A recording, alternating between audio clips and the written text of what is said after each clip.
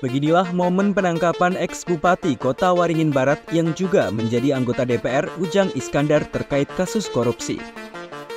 Ujang dibekuk Kejagung di Bandara Soekarno-Hatta pada Jumat 26 Juli 2024 sore.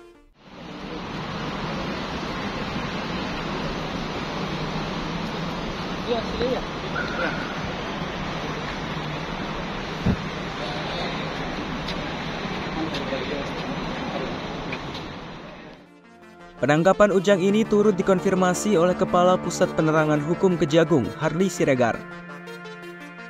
Menurut Harley, Ujang ditangkap setelah kembali dari Vietnam.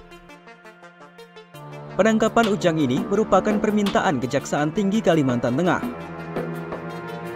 Harley menambahkan, politikus Nasdem itu juga tengah diperiksa oleh penyidik. Hal itu disampaikan Harley pada Jumat 26 Juli 2024. Nah perlu kami sampaikan bahwa uh, memang tadi sore ya uh, berdasarkan surat permohonan monitoring dari Kejaksaan Tinggi Kalimantan Tengah meminta kepada uh, Kejaksaan Agung dan melalui tim Siri telah melakukan uh, pelacakan ya keberadaan yang bersangkutan.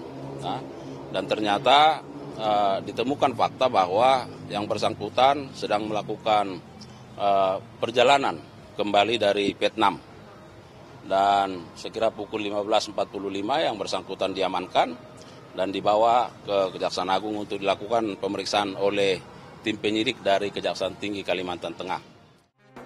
Menurut Harley, kasus yang menjerat Ujang terkait penyimpangan dana dari pemerintah daerah Kota Waringin Barat. Kasus dugaan korupsi ini terjadi saat Ujang menjabat Bupati Kota Waringin Barat. Kala itu, Ujang diduga melakukan penyimpangan dana dan penyertaan modal dari Pemda kepada Perusda Perkebunan Agrotama Mandiri.